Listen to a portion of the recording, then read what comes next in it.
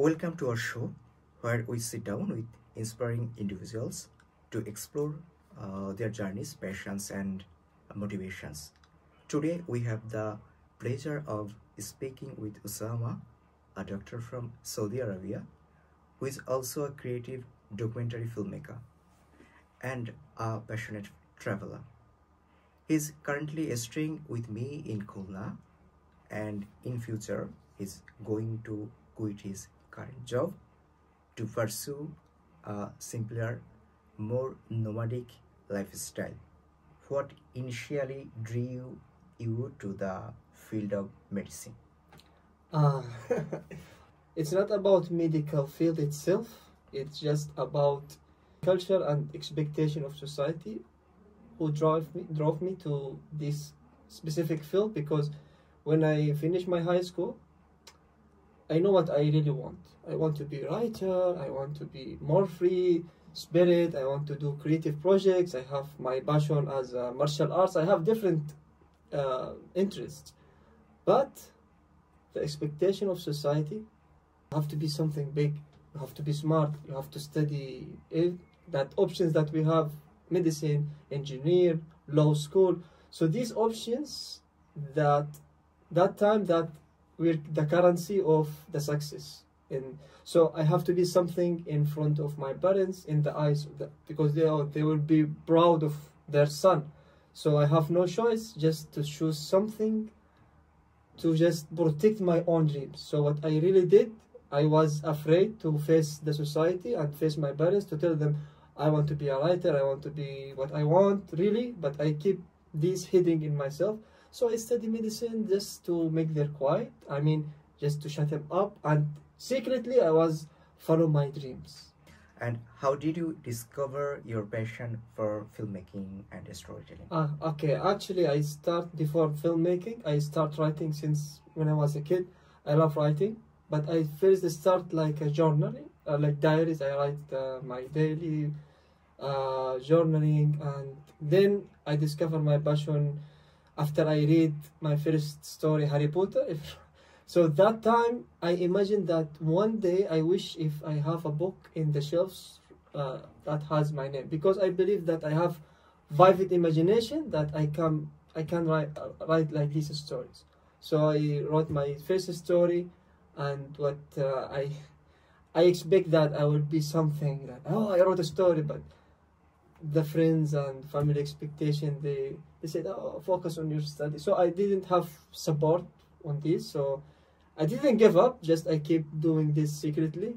And then i keep writing writing writing but i didn't succeed like to have an income or things like this. So i decided to switch my passion into filmmaking which i really like filmmaking because uh, it expresses my uh, ideas better than writing but i i still li like writing. I like i love writing script of my movies or my documentary.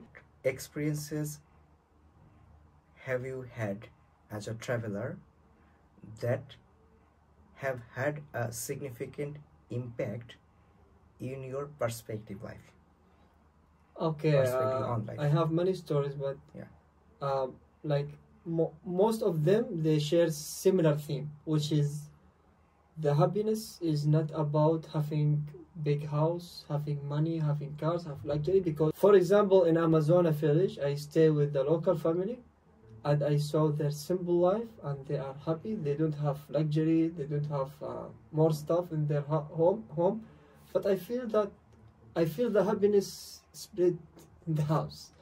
I realized that traveling is the best way to live my life. And what challenges do you foresee in transitioning from a stable career uh, as a doctor to a full-time traveler? Probably you are not a full-time traveler this time, but you are no. going to be. I'm going to. I already decided. Do you have any challenges for this? Yeah, of course. Uh, the first challenge, of course, the money.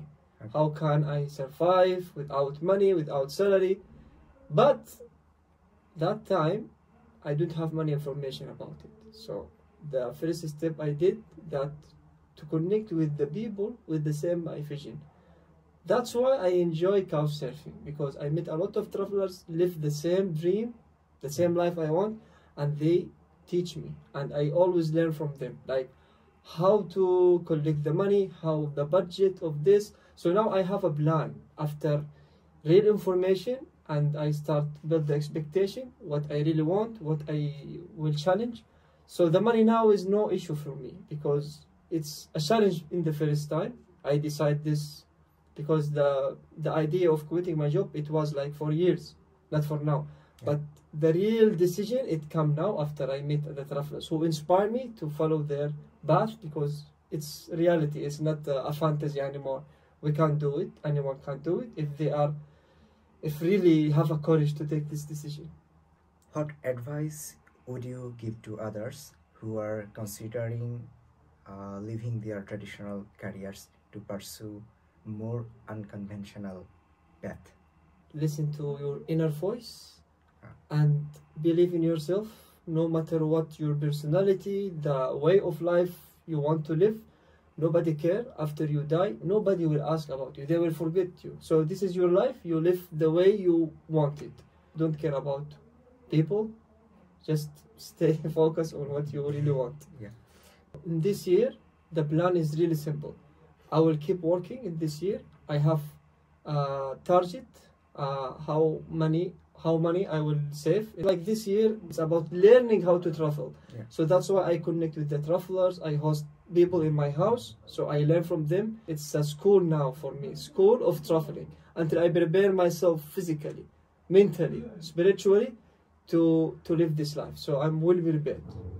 Yes. Finally, what message or insight would you like to leave our audience with? And if you don't really enjoy what you are doing, you cannot leave impact in your society.